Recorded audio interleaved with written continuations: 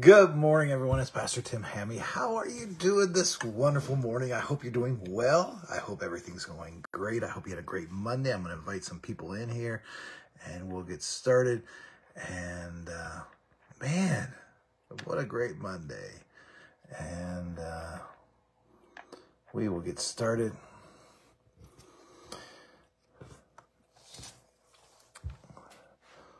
So,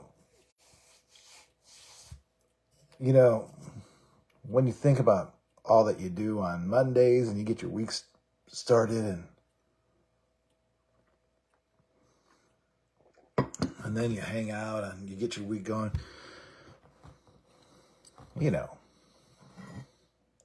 So I love spending these mornings with you guys. So Proverbs 18:10 is the verse this morning. I want you to think about this. Just listen to it. It's actually a, worship song, old worship song. The name of the Lord is a strong tower. The righteous run into it and are in, are safe. The name of the Lord is a strong tower. The righteous run to it and are safe. Think about that. So the the the Bible um, actually references this idea, this this statement. The name of the Lord is a strong tower. It almost references. Well, it's not almost.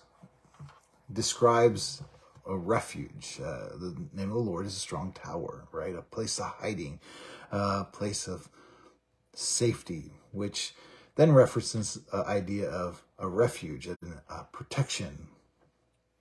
So when you begin to think about that, you begin to think of a place of safety, a home, a, a area of protection. Well, then you go back and you look at the cities of refuge found in the Bible where it was a place of protection.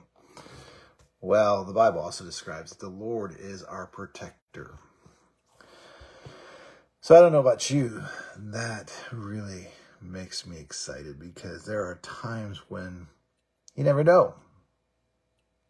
You just uh, know that you just need the moment of of you're in fear, you're in anxiety, you just need that you're fearful, you're dire straits, you just need the feeling of being protected. And this verse here this morning says, The Lord is a strong t- tower, the righteous run to it and are safe. Well, you got to know where you're going and how to get there. And if you're just kind of like, mm, I don't know how to get there, well, get in the Word, get in the Bible, get know where you're going. If you're just kind of like, I just don't know how to get there, pray about it. God will direct you. Um, the Lord of the the name of the Lord is a strong tower. Call on his name. His name is Jesus. And uh, he'll show you the way. And uh, it's, there are moments in life where you just kind of go, well, I think I can do this on my own. I'm, I'm good. Well, I know that sometimes people are not good. We make that statement as a passe statement in, in life. I'm good, you know, or when you, someone, you greet somebody, you say, how you doing?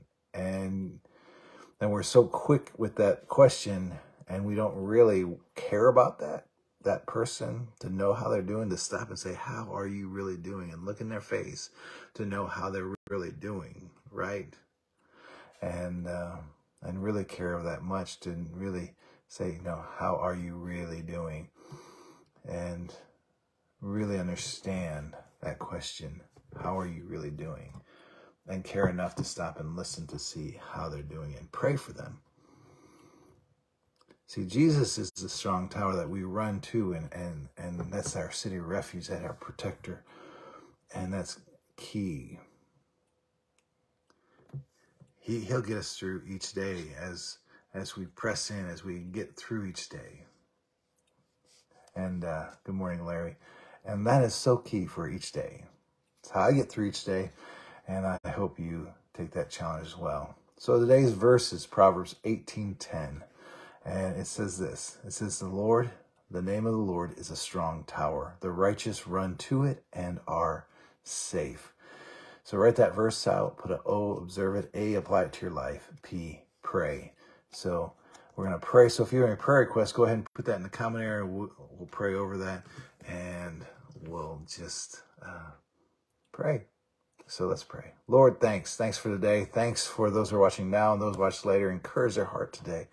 And Lord, we just thank you. Lord, I pray for those that are sick today. I pray that you heal their bodies. And Lord, I thank you for that. I pray for those that are well, that you protect them from being sick. I pray for our government that you help them make good decisions. I pray for those that are in need that you provide for them. I pray for our economy that you turn it around. I pray that you help it, help us to be a blessing to those that we come in contact with. And Lord, I do pray that you help us to be a blessing to those that uh, we come in contact with. And I pray that you help us to um, share the gospel with somebody today. And again, I do pray that you help us to be a, uh, share the gospel with somebody today, Lord. Bless those who are watching now and those watch later. Encourage this day, Lord, in your name. Amen. Hey, love you guys. Have a great Tuesday, and we'll see you tomorrow morning. Have a great day. Love you guys.